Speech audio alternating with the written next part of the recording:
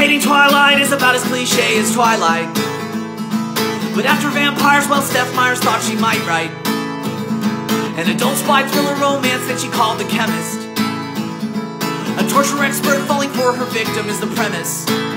She uses chemicals to mentally destroy a terror suspect.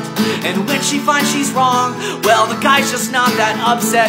He forgives her for violating the Geneva Convention. Fall in love and plot is foiled thanks to their intervention. And to save their love, they disappear, go incommunicado. And they start a bar and grill out in Colorado. Cause when I hear torture in Applebee's, I think ultimate romantic fantasy. But is it still a better love story than Twilight? I do not know.